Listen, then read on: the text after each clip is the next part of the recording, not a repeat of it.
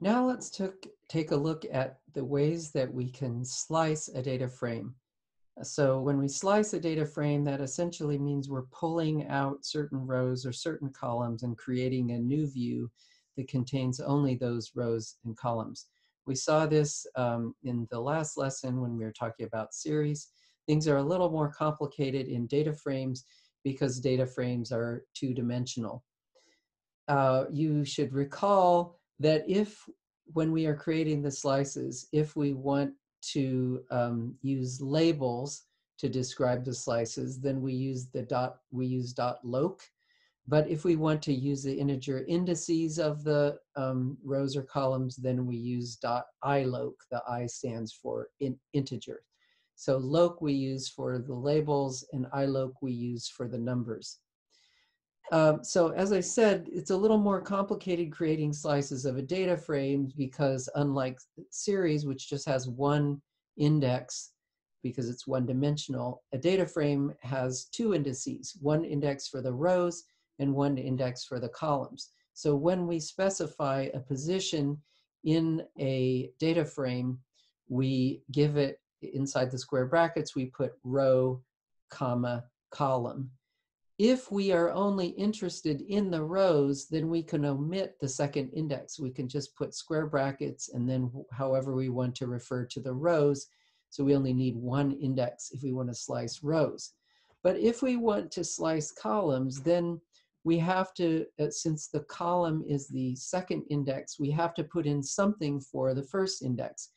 And the way that if we want to indicate that this should apply to all rows, then we can simply um, use a colon with nothing in front of or after it, and that will indicate all rows, and then we can put in the range of the columns that we would like to include in our slice. So, and then as I said earlier, keep in mind that um, if we create slices of the data, then typically we're only getting a new view of the data. We're not actually getting a copy of the data. So let's go ahead and try this out. So uh, if I want, if we look at the table that we just read in, we see that it contains data both uh, the raw numbers of CO2 emissions in terms of million metric tons, but there's also uh, some columns that indicate the fraction of the emissions in each of the three uh, fuel types, coal, petroleum, and natural gas. So if I'm only interested in the fractional column, the last three columns, then I could uh, specify a slice that includes the coal fraction column through the natural gas fraction column. So, um, and that's how I can express this. So remember that since I'm talking about columns, I have to have as my first index a colon and then a comma and then the range of the slice that I want to use for the columns. Remember that slicing with labels includes the last label, and that's different than what we saw when we talked about slicing with uh, integers. When we slice with integers, the last number in the uh, that we specify is actually not included. But in this case, it will include the natural gas fraction column as well. So let's go ahead and do this. And notice that I am assigning this to a slice that has a different name than my original data frame.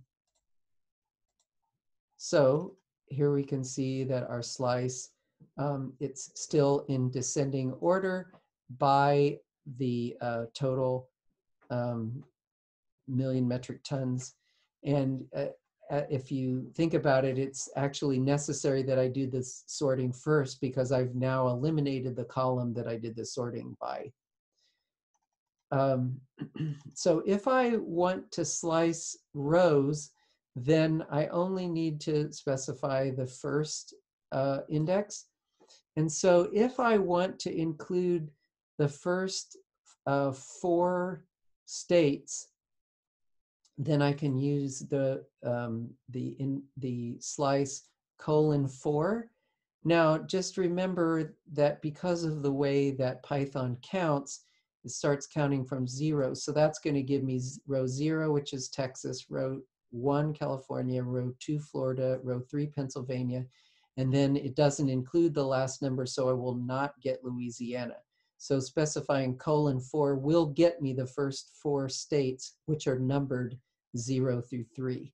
So if I go ahead and do this, now I have a, again, assigned this to a new view called COPS, top state CO2 fuel, and that is gonna consist of this.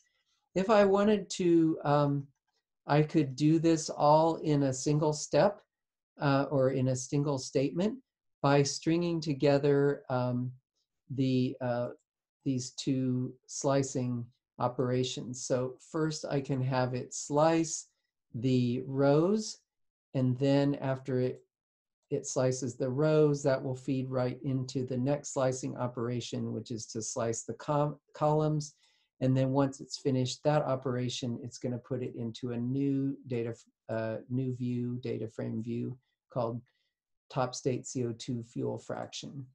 So I can see that um, it, it, has done both the slicing by rows and also the slicing by columns.